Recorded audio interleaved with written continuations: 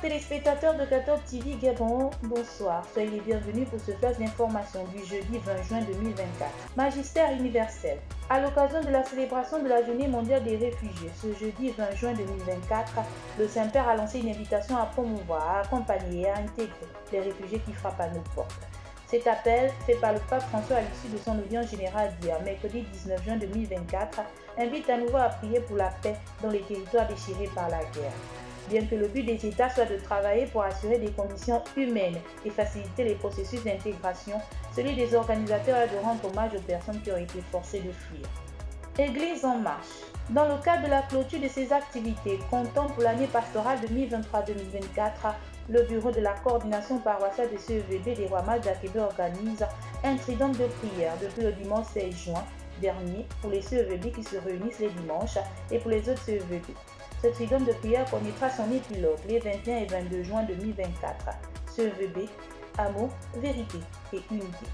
Dans le diocèse de Port-Gentil, la prière et la vie dans l'Esprit Saint, tel est le thème qui rassemble depuis le dimanche 16 juin 2024 les ouvriers apostoliques du diocèse de Port-Gentil à la mission Sainte-Anne et Saint-Joachim d'Ombiba du Fernand-Vaz.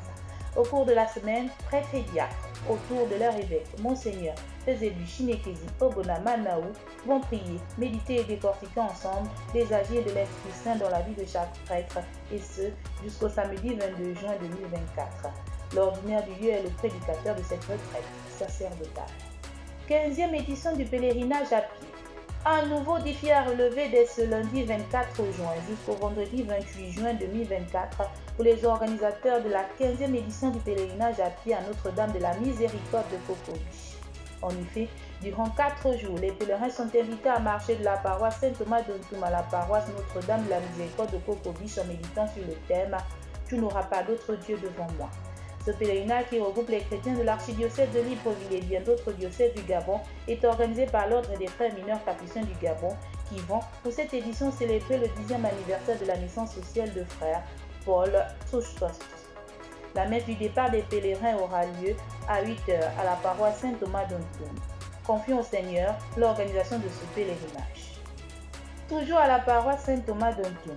Du 3 au 7 juillet 2024 prochain, la coordination pastorale des jeunes de la paroisse Saint-Thomas d'Ontoum organise un compte des jeunes sur le thème Tous frères et sœurs, venez et voyez. Cette rencontre des jeunes de Saint-Thomas est organisée autour de plusieurs enseignements sur la vie pratique et vestimentaire, le chemin de croix, les messes et bien d'autres ateliers. Les inscriptions s'élèvent à 5 000 francs CFA par participant et les places sont limitées. En rappel, ce sera le mercredi 3 juillet 2024 prochain qu'aura lieu la fête patronale de la paroisse Saint-Thomas d'Ontour. En page culture, il y a la première édition du Festival international Cinéma et Liberté de Libreville qui aura lieu du 24 au 29 juin 2024 prochain à la Baie des Rois sous le parrainage de Madame Laurence, le ministre de la Communication et des Médias. Ce festival est organisé par l'association Gabon Cinédoc et la société Clive Bassibri Production. Au programme, hommage, discours, masterclass et projections de films. La population est invitée à venir massivement participer à cette fête du cinéma gabonais sous-régional, continental et international. Madame Pauline Bellet, fidèle catholique et directrice du festival, invite les fidèles chrétiens à s'intéresser de plus en plus au cinéma et aux industries culturelles comme moyen de communication efficace de la foi et de la morale chrétienne. Célébration de la journée mondiale du réfugié. Ce jeudi 20 juin 2024, le monde entier célèbre la journée mondiale du réfugié sous le thème Pour un monde qui accueille les personnes réfugiées.